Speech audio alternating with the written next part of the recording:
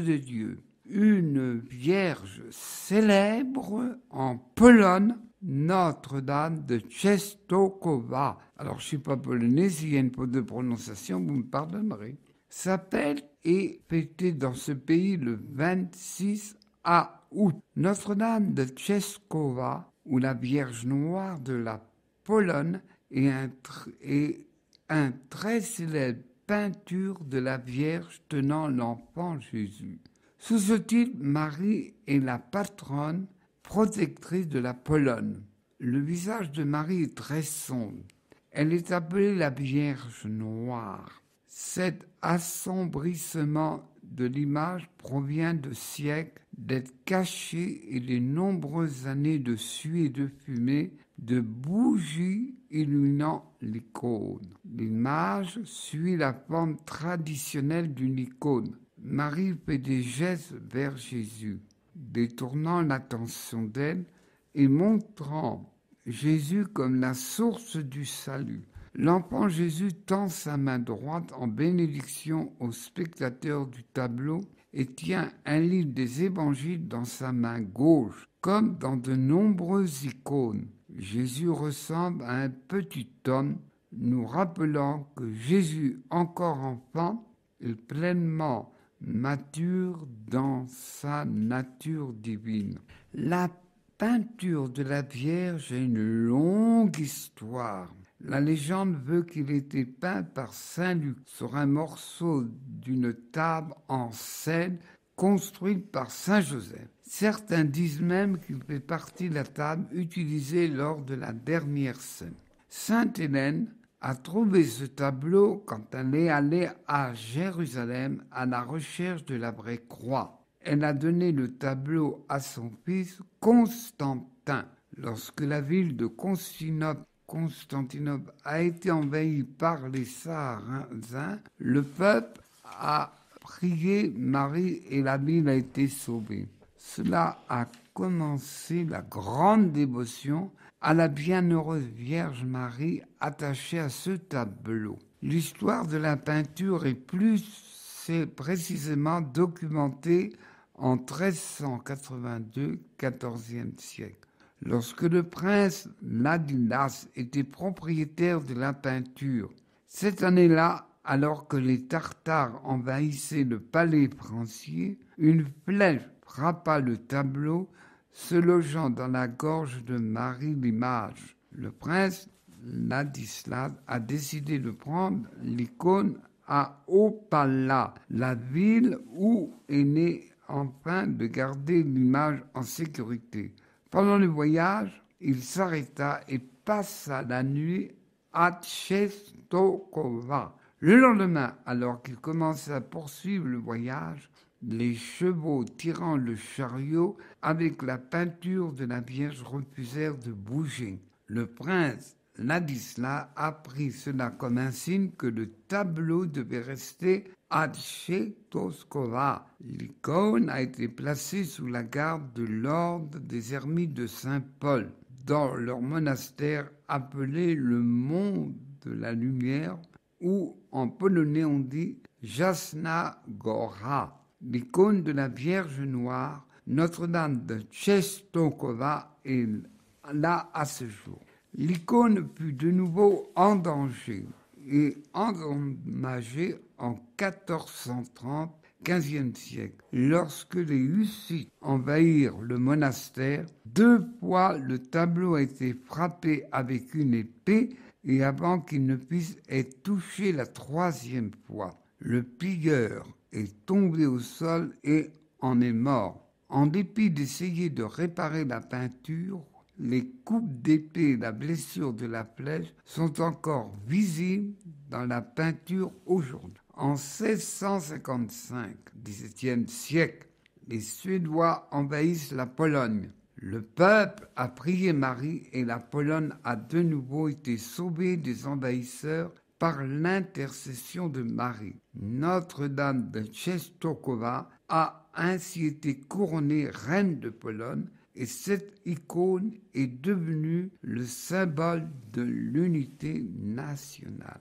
Il existe même une légende moderne datant de l'invasion de la Pologne par la Russie en 1920. L'armée russe était prête à attaquer lorsqu'une image de Marie était vue dans les nuages. À cette vision, les troupes se sont retirées et la Pologne a de nouveau été sauvée. L'Église honore Marie, la Mère de Dieu, de diverses manières. Marie peut intercéder pour nous, comme en témoignent les nombreuses guérisons et miracles qui ont été attribués aux prières de Notre-Dame de Cheskolova au fil des ans.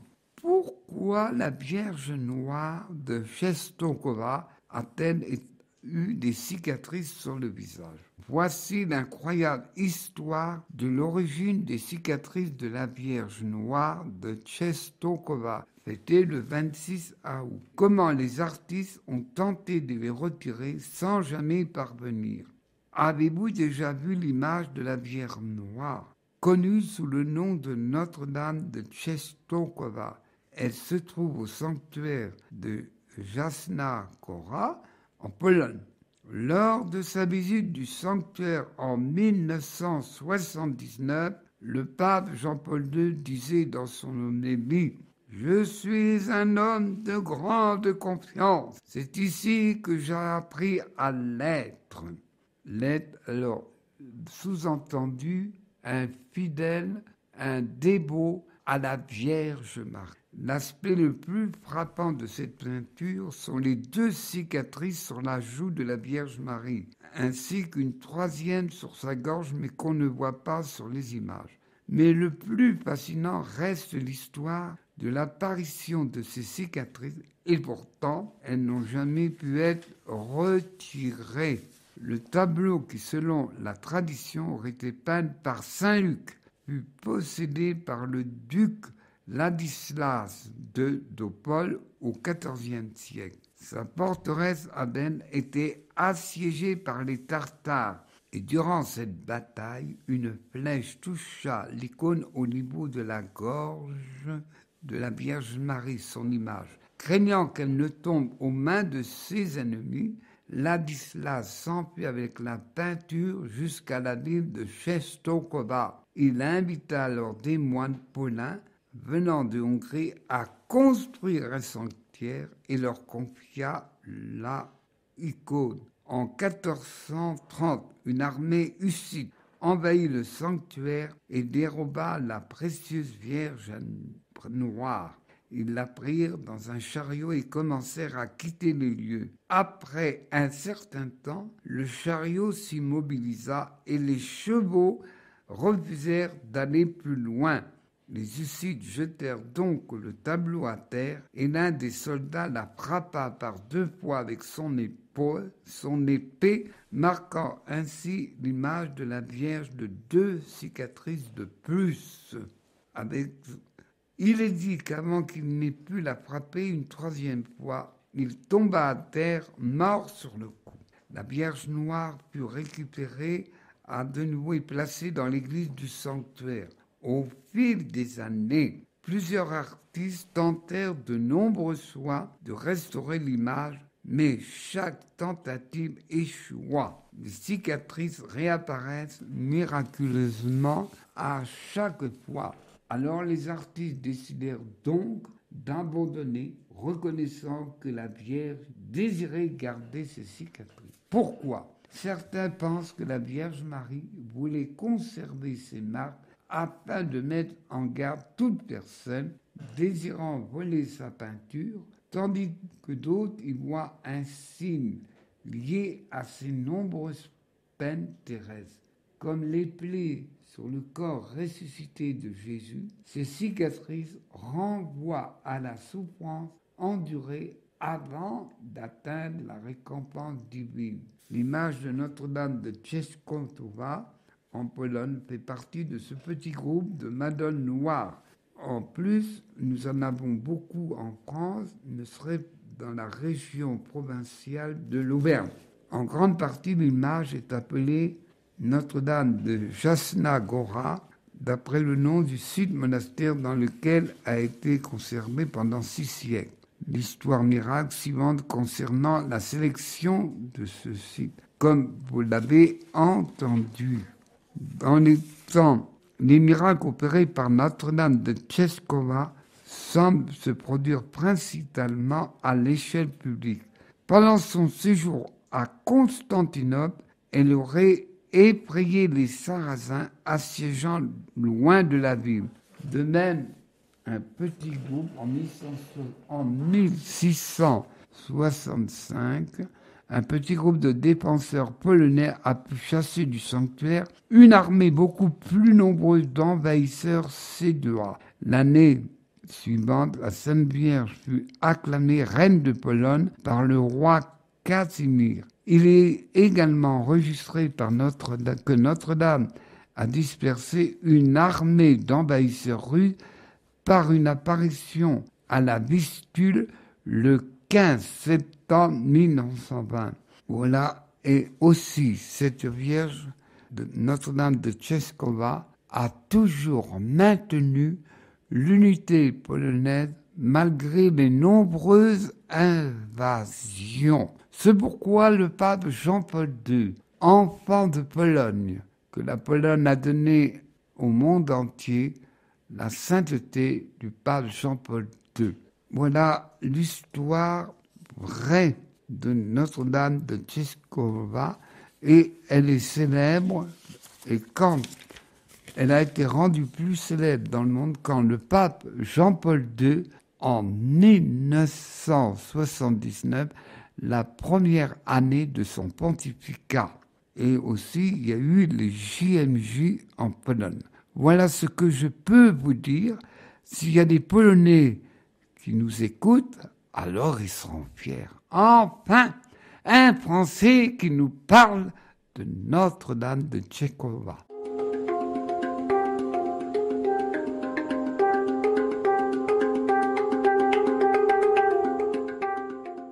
Vous savez que beaucoup de chrétiens se posent la question, pourquoi après la mort il y a-t-il quelque chose? Un sujet passionnant. J'avais déjà raconté pour Don Robert, un fils spirituel de Don Bosco, comment il est revenu à la vue.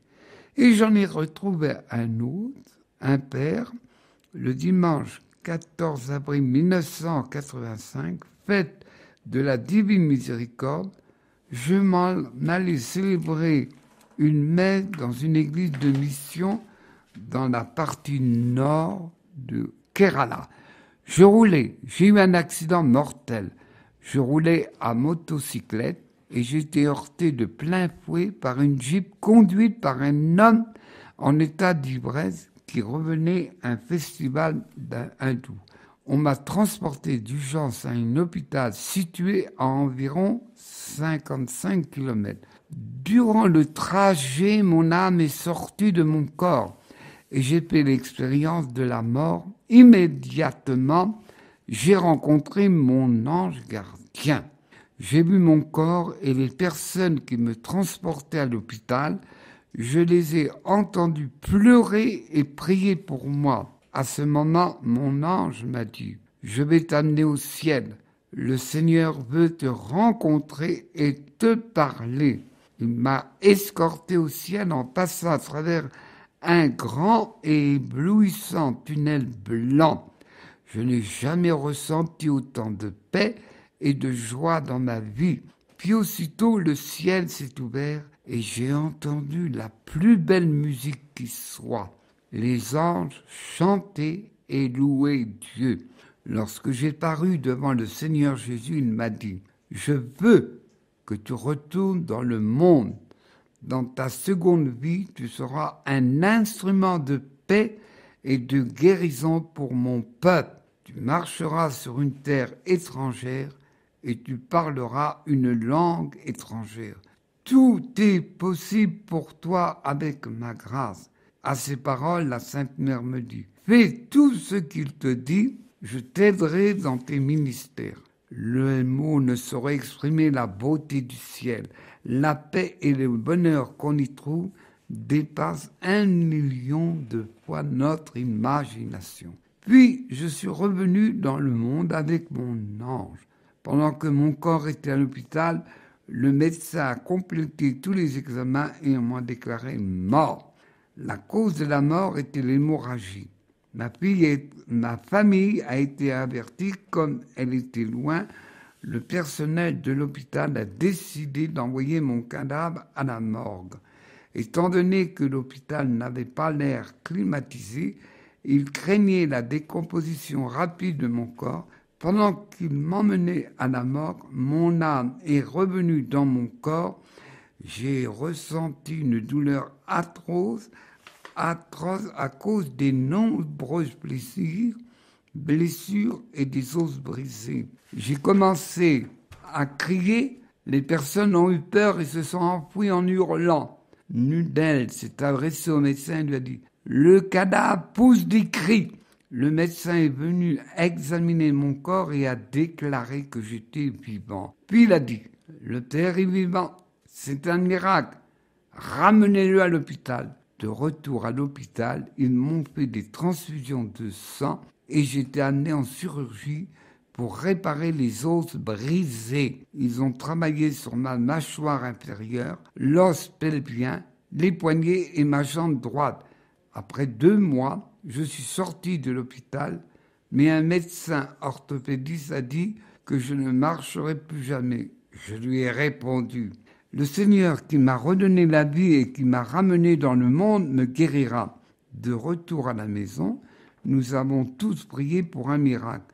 Même après un mois, les plates enlevées, je n'étais toujours pas capable de bouger. Mais un jour, pendant que je priais, j'ai senti une douleur extraordinaire dans la région pelvienne. Peu de temps après, la douleur a disparu complètement et j'ai entendu une voix qui disait Tu es guéri, lève-toi et marche. J'ai ressenti la paix et la puissance de la guérison dans mon corps. Je me suis levé immédiatement et j'ai marché. J'ai loué et remercié Dieu pour ce miracle. J'ai rejoint mon médecin pour lui donner les nouvelles de ma guérison et il en été stupéfait. Il a dit, votre Dieu est le vrai Dieu. Je dois suivre votre Dieu.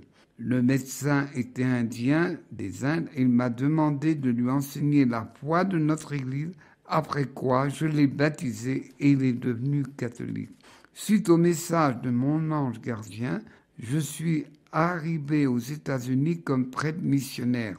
Depuis juin 1999, je suis pasteur de l'église Sainte-Marie, mère de miséricorde en Mascalenie en Floride. Je suis aumônier catholique pour les prisons et à l'hôpital et également directeur spirituel diocésain de la Légion de Marie.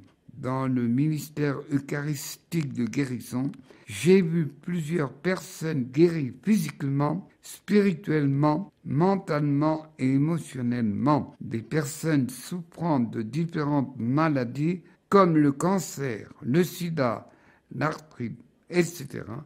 De plus, à plusieurs reprises durant l'année, je dirige un ministère spécial de service de guérison pour la guérison de l'arbre généalogique. Durant le ministère de guérison, plusieurs personnes connaissent le repos dans l'esprit devant le Saint-Sacrement et pour l'expérience du renouvellement de l'âme et de la guérison du corps. Bon peuple de Dieu, il y a des choses qu'on ne croit pas, mais on a besoin d'encouragement et Dieu permet encore cet homme revenu à la vie. Il y a autre chose après la mort de l'au-delà. Merci à toi, bon peuple de Dieu.